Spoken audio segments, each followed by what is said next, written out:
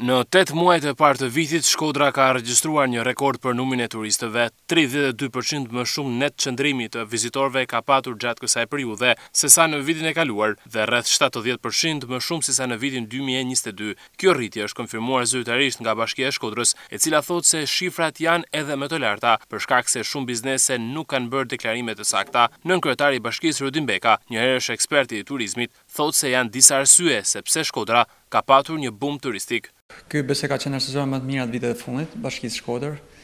ku mund të themi ishte gati tridhjetë për qind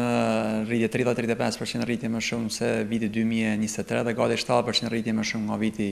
dy mijë e njëzet e dy për sa i përket numrit të turistëve. Janë disa faktorë të ndryshëm. E para është besoj puna me vite të ndryshme që ka bërë edhe edhe qeveria do thoshin për sa i përket infrastrukturës dhe promovimit, sepse s'mund të themi që ka ardhur sot janë 10 vite punë për me ardh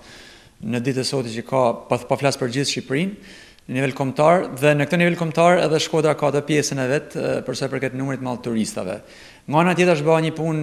besoj e mirë në vitet e fundit, vjet me sivjet për sa i përket infrastrukturës, kanë gati Pesëdhjetë mijë metra katror ndriçim të ri, janë shtru disa rrugë të reja të qytetit, janë ba katërmbëdhjetë kilometra rrugë biçikletash dhe këtu vlen me përmend faktin që turistët e vlerësojnë shumë si qyteti i biçikletave. Operatorët turistikë nga Velipoja në Theth kanë ruajtur të njëjtin standard çmimesh, prandaj nga bregdeti e deri në Alpe, turistët kanë gjetur mikpritjen e duhur. Kemi pas një ndërgjegjësim dhe bashkëpunim fantastik do thosha me bizneset, të cilat kanë rrit një standard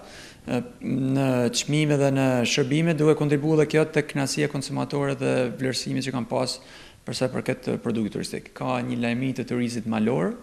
ku ka një turist perëndimor me nivel të lartë edukimi dhe turizëm familjar. Ka kemi të fortë turizmin balnear, të të detit pra të Velipojës, Kemi turizmin e ekoturizëm apo të natyrës me bazë liqenin dhe